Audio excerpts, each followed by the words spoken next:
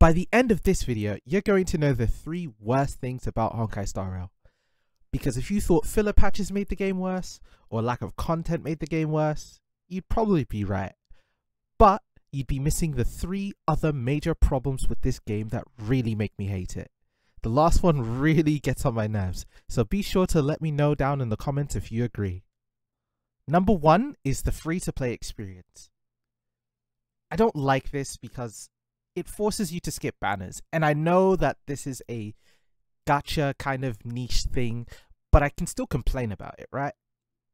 In a game where team composition is so important, like Honkai Star Rail, where you have to pull for units that synergize with each other to get the most out of those units, unless you're pulling E6 on everything, it's extremely difficult when in patches like 2.6 we get Face Feixiao and Lingsha, and I wanted them both, but I needed Lingsha to complete my Super Break archetype team. And I could also move Gallagher over to my Acheron team and so on and so forth. I completely missed out on a great DPS unit and a very strong archetype in this game, which is the follow-up attack.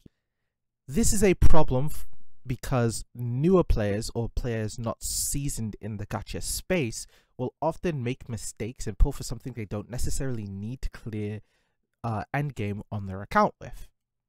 Star Rail is my second gacha game ever, and I've played Genshin Impact before, but I never really got into it on the level that I did with Star Rail. So this was a brand new experience for me.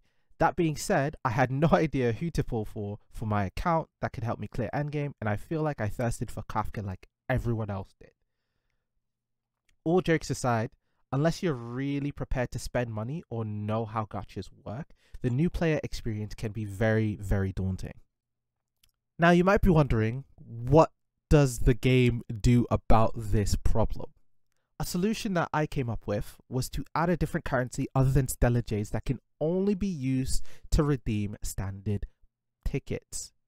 It would be very, very nice for new players and people who are very low investment in the game to have the option to basically pull on the standard banner pretty freely. Use that currency, build up their units. If they don't want to pull on um, limited time banners, they can do so. I understand why they couldn't do this in the beginning to slow progress of players during the game, but now we're at a point where I think this should be a viable option. Now, just when you thought it couldn't get worse, it does. The second major problem I have with this game, which again comes back to the gacha formula, is the banner release order. I have pulled for every single Nihility unit in this game in hoping that DOT would be great again.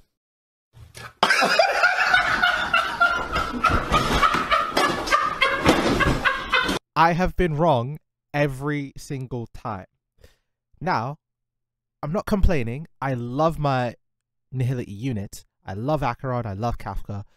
But the fact that I basically pulled Black Swan into Acheron, into Jiaoqiu without getting a break—you've one patch to save is just not enough. It's just not enough. And I probably will be pulling for the next four limited units so my account can actually catch up and my wallet is going to say very mean things to me. This is a problem for players who would like to pull multiple things that do not have the resources to do so. So they might not be able to clear endgame, and if you're a newcomer, then good luck. Welcome to the gacha experience. Now, to be honest, I don't really know how to solve this issue. The only thing that I could think of is to, whenever a new unit reruns, uh, or whenever a new unit comes out, do reruns of characters that actually make sense that will actually support this unit. For example, we have Sunday coming up. We should do a rerun of Jing Yuan as well. I know they're not going to do that. They're going to separate the banners, but it is what it is. As a side note, we should also get 10 pulls for each phase. So 10 pulls for Sunday, 10 pulls for Fugue. that's just something that I think that we should get. Am I being too greedy? I don't think so. Before we get into the worst thing about Honkai Star Rail, let's talk about an honorable mention that I feel many people will agree. There is no official PvP mode in Honkai Star Rail. Hear me out.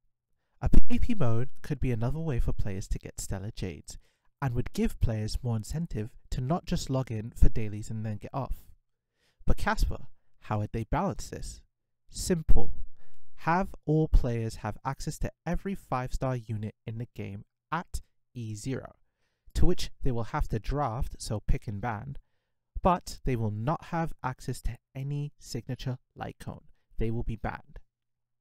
You can choose every main stat for every relic, which will come with maxed out stats, but the substats will be randomized, and you get two chances to reroll per relic. After drafting is complete, we go to a random Pure Fiction, MOC, or APOC Shadow stage where the winner will be determined by the fastest clear. And finally, the worst thing in Honkai Star Rail is the endgame. More specifically, the flexibility endgame requires from your account. Because I'm essentially forced to skip banners, I don't have the units that would help me clear endgame efficiently. Follow-up attack teams are really good right now, and the only real unit I have is March 7th because I skipped for Fei for Lingsha to complete my Super Break team. On top of that, I finally caved and I spent some money to secure Lingsha and her light cone because I was losing 50-50s left and right. Until I get units that can clear the game effectively, I'm losing out on some of those sweet, sweet Stellar Jades that we get from Endgame, which we know we all want as many as possible. More Stellar Jades means more pulls, and more pulls means more chances to secure those units that can help you clear Endgame. My solution to this is make a more customized endgame. Wouldn't it be nice if you could choose which pure fiction slash MOC slash apocalyptic shadows mechanic you get to do instead of the mandatory refresh to figure out everything. Imagine the life the life cycle still goes on, right? But you get to choose which one you get to do.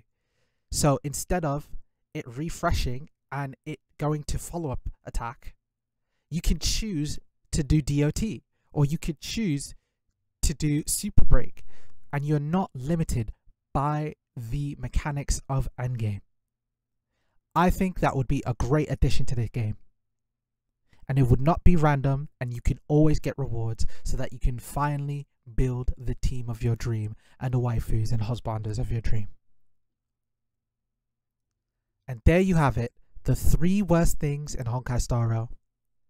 If you're playing Deadlock 2, you should probably watch this video to see who's OP and who needs a buff. Make sure to check it out.